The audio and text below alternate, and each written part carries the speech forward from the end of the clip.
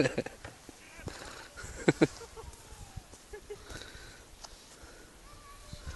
mai se ci buttavano dove stava la merda.